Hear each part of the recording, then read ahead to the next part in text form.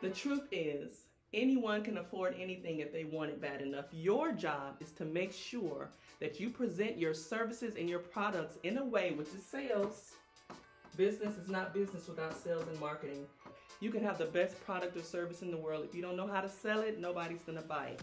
We'll get onto that later. I'll do other videos about that later. But here's the thing your job is to make sure that you tell the story about your business, your service, your product in such a way that you create a desire in your customers to give you money so that they can receive what it is that you have. That is your job. How are you presenting your business to your customers? You need to be presenting it as if it is valuable. You need to believe and have the confidence to know that what you have is worth the money that you're asking for. There's a book called Thou Shalt Prosper, written by Rabbi Daniel Lapin. And in this book, it talks about the importance of understanding that money is a good thing. Money is a tool, but it is you, it can be used for good.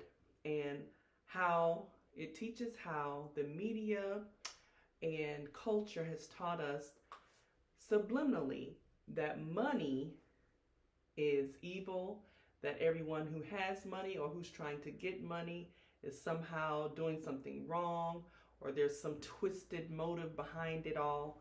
But the truth of the matter is, money answers all things. You can't get anything done out here unless you have resources. And in this book, it talks about how money is like a certificate given to the entrepreneur or the business owner by the customer to say, Thank you, I am satisfied with this service or product. Thank you so much. So, money actually is a certificate of happiness and satisfaction from your customers. So, if you are a servant leader, if you're truly a leader at heart and a servant at heart, it should be your goal to get as many of these little certificates as you can because it's proof that you have a quality product and a quality service. So don't serve out of lack. Serve from a place of strength and leadership. There are a couple of things that you need to understand and shift your mindset about in order to move forward with this. And then you can help your customers do the same thing. Money is not evil. Although evil people can get money and do terrible things with it, money itself is not evil. Number two, it's good to charge money for your services. Charging not only takes care of you and your family and keeps you happy and excited about the work that you do instead of miserable, but charging also teaches your customers how to value your products and your services so it's very important to charge not only just anything, but charge a good amount of money. Number three, not only is it good to charge, but it's good to pay. It's good to have the money to pay for what you want. Nothing makes me happier than to know that I have the money to pay for whatever it is that I need. And when I hand it over, I know that all of my bills are still paid. No lights are going to be shut off because I've worked hard and I've earned the right to spend the money that I spend. All of this, money's not evil. It's good to charge, it's good to pay, leads me to number four. Learn to talk about, receive, and give money with ease. Be fluent.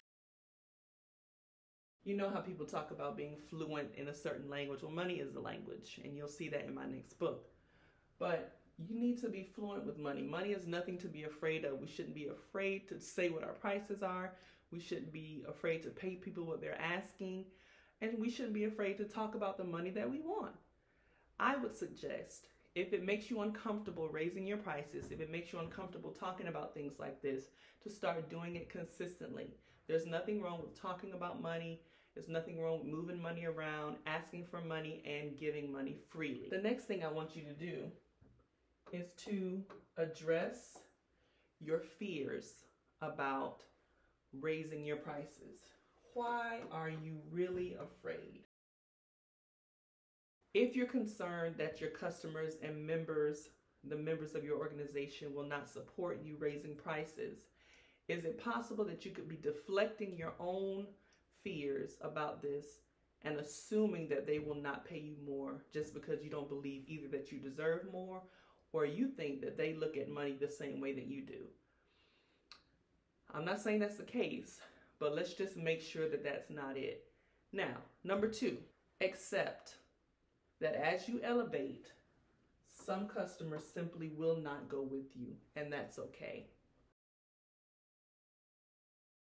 It's okay if not all of your customers come with you because what's most important is that you establish a business and an organization of your dreams, that you establish something that's going to make you proud, that's going to build a legacy.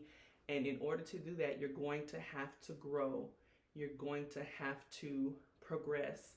And not all of your customers are going to be able to take that journey with you all the way to the end, and that's okay. Some will stay and elevate with you, some will fall off because they're not supposed to go further with you. And guess what?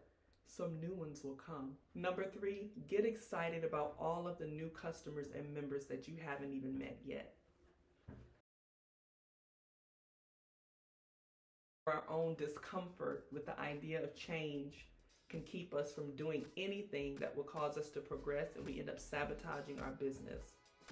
Change is good. You cannot grow or improve without change. And most times when you're growing and improving and changing, your circles will change, your customers will change, your members will change. It's all a part of the process.